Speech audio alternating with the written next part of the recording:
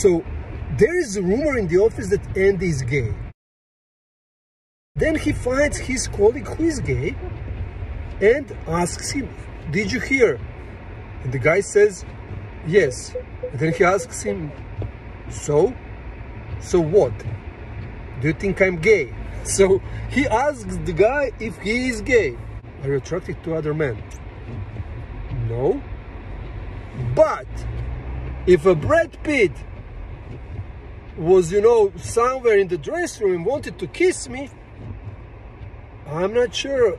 I would resist a bit, but I don't know how it how it would go, you know. Colleague who is gay says, I definitely won't comfort heterosexual males who are insecure about their sexuality. I mean, so he's looking for the information from the outside world to tell him something about his basic identity.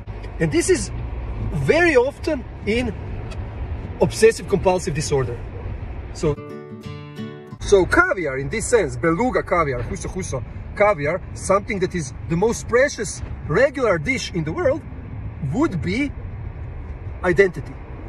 Having clear sense of identity without this pathological doubt that leads to this pathological testing of different scenarios. So he's looking at men, uh, observing men, asking other people, testing all the time, thinking about uh, different situations and so on, gathering evidence for something that is part of his identity, something that is information he could look for within.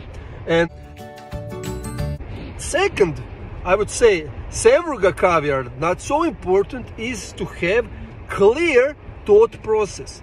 His thought process is uh, just wrong.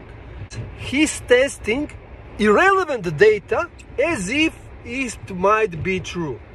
You can go uh, to the doctors and test each of 400 moles on your skin.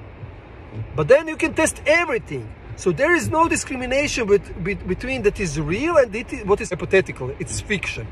So it's reality constructed. You're not using your mind on reality pro problems, but hypothetical problems, practically insignificant probability, that can be infinite number of those tests. It's wasting your energy and time.